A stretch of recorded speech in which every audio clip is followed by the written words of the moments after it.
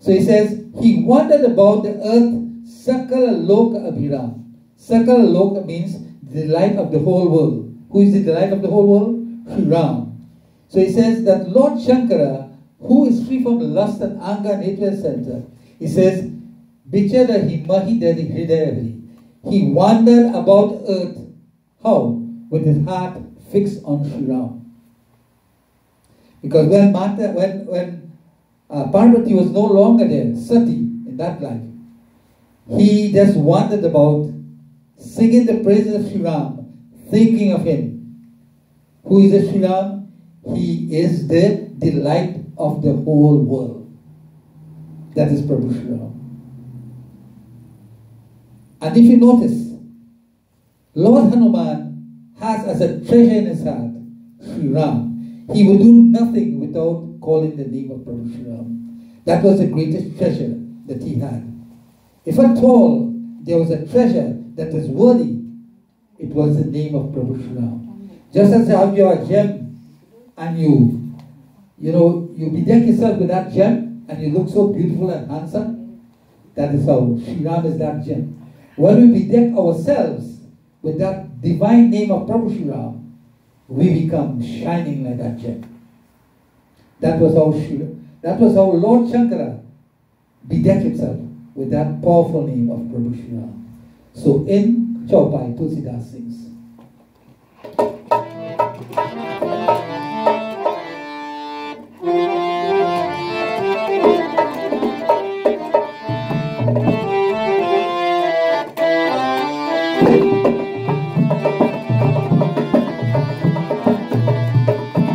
Jai Ram,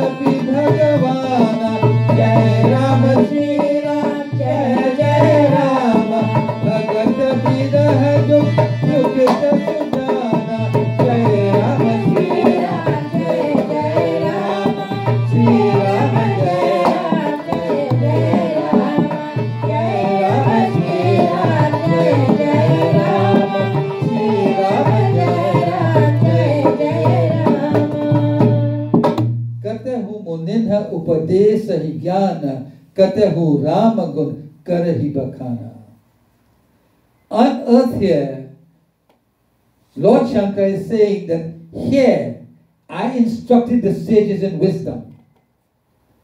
Wisdom is this jnana, upadesh jnana, upadesh jnana, great knowledge.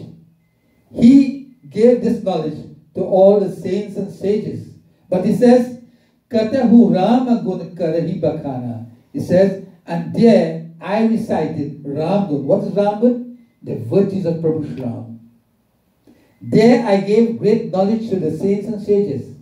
Here I am reciting the gunas or the virtues of my Lord Prabhu Shri Ram. He says, Jadapi akasha tadapi bhagavana bhagata birah duk dukit sujana. He's saying, though, though free from desire, Lord Shankara, though he's free from desire, though he's all wise, he says, the Lord was smitten with the pangs of separation from his devotee Sati. Though he's that, you would know that a person who attained great spiritual heights doesn't care about the world. Things don't bother such a person. But he's saying, even though Lord Shankara reached that height, he was affected by this separation from Sati. Why is that? Because she is his great devotee. In addition to being his consort, consort he was, she was his great devotee. And besides that, the feminine aspect is the divine energy of the Lord. The Lord gets its energy from the divine from the his Shakti comes from the feminine aspect. Like Lord Vishnu, his Shakti comes from Lakshmi. Lord Brahma, his Shakti comes from Saraswati. So the female aspect, the feminine aspect, is the divine energy of the Lord. And he is sort of lacking that energy because of the absence of Satima. But his mind was always fixed upon whom? Upon Prabhu Shri Ram at all times. So, in Chaupai Tulsidas sings.